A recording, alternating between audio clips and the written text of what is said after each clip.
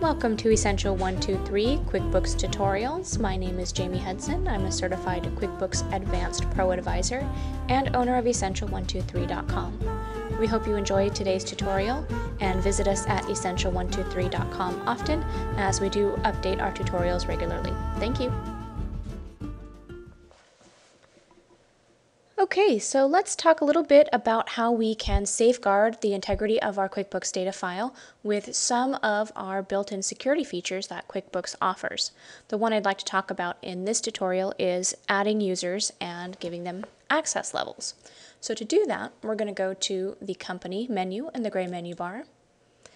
Then we are going to go to Set up Users and Passwords and Set up Users. Now you'll notice on our user list the admin is the default user and it is currently logged on. When you set up your QuickBooks data file, this is the default login that will be set up and you have the option of adding a password when you set up your QuickBooks data file or you can come here to change it.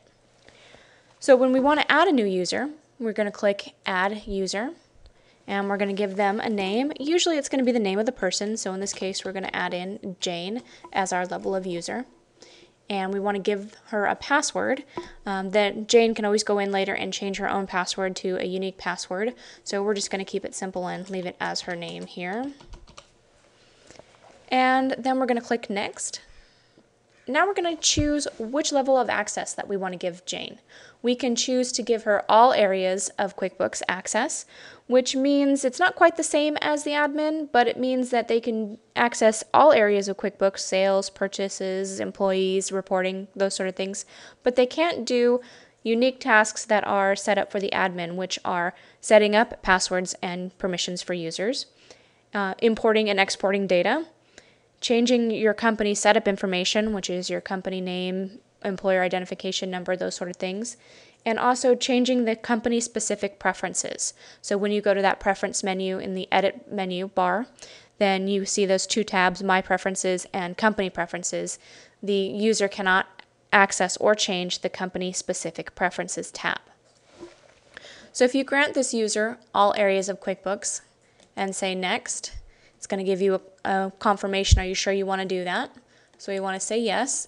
And that's really all you need to do. It gives you a summary of all of the areas that they have access rights to and permissions to. Let's go ahead and click the back button and we're going to talk a little bit about the other types of user access that we can have.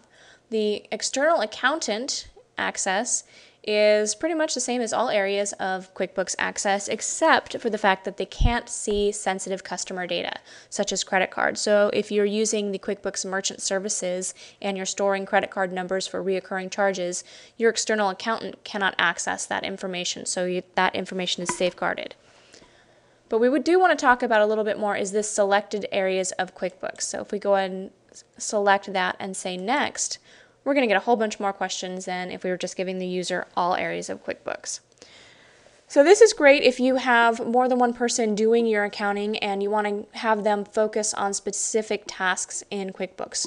If you have an accounts payable clerk and also an accounts receivable clerk, you can set up access to that area of QuickBooks only for each of those users.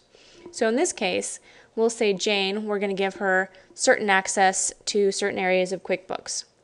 Now we've got some options here. We can give her no access to things like our first option, sales and accounts receivable, which is entering invoices, sales receipts, sales orders, payments, those sort of things, and um, processing credit cards if you have the merchant services account there.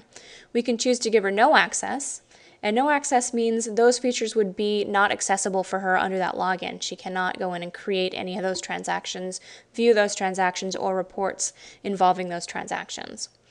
We can give them full access, um, which provides general access to the area and letting them do everything except editing or deleting a transaction.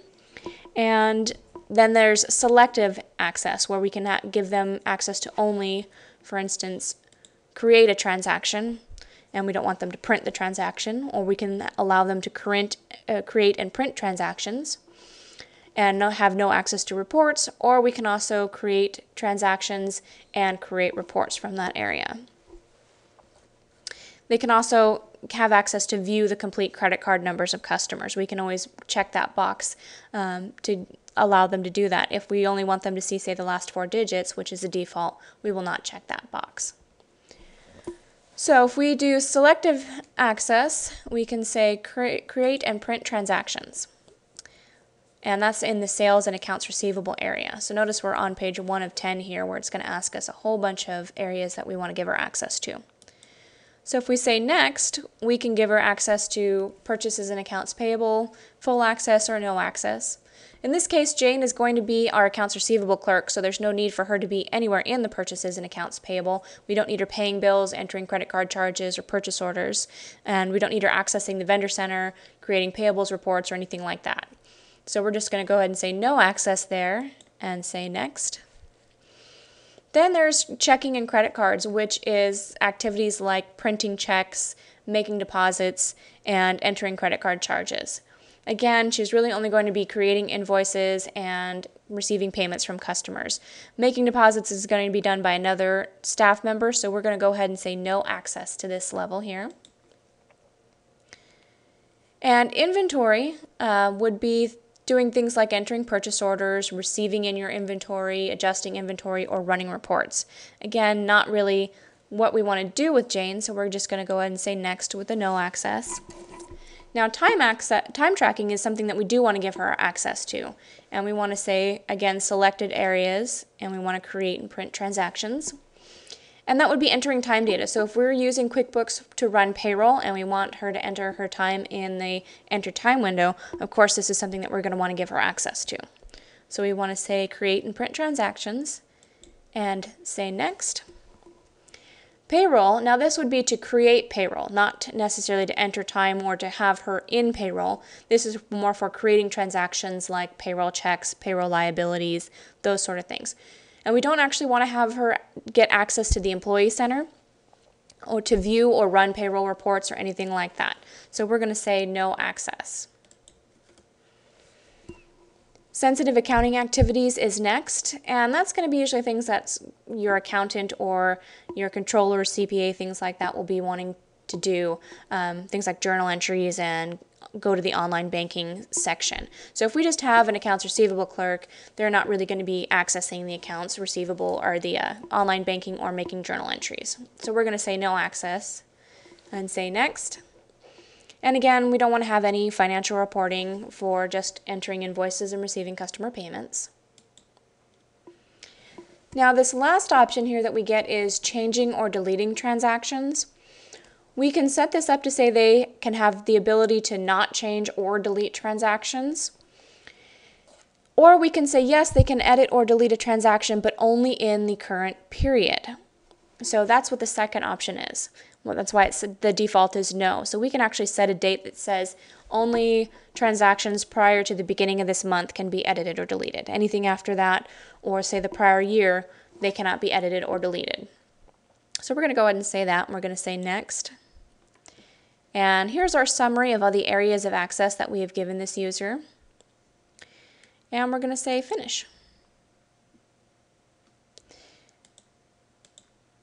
So now we added Jane and we told her that we can't, she can't edit or delete transactions from a prior period and that has to do with this closing date and that's why we have a link to the closing date here. So if we click on the closing date, we can say that Jane has no access to edit or delete anything prior to last month and we're going to put in a unique password here so that Jane doesn't have access to that. Now, these users are important for one report that we have here in our reports menu under the gray menu bar. If we go down to accountant and taxes and we look at the audit trail report, if for some reason you believe your data was compromised or you have a suspicion that there may be fraud happening with your business, this report is where you're going to want to look to see if transactions are being deleted or modified and changed. The audit trail report will tell you when a transaction was entered, who it was entered by, and it even gives you to the time, and then if it's been changed at all. So in this case, you can see this bold italic means it was changed. And it tells you what the current version of the transaction is and how the date was changed. And you can organize this by user. So you can see here, everything's in here under admin, so you can't really tell if something happened to change or delete a transaction by any specific person. So that is the importance of setting up users and passwords. Thank you for watching. We hope you found our tutorial useful and informative. Your feedback and comments are welcome. Please send us a note to the email address that you see on your screen. And just to let you know, we do offer live seminars, remote login assistance, video conference, group training, one on one instruction, and so much more. For more information about these services, visit essential123.com. Thank you.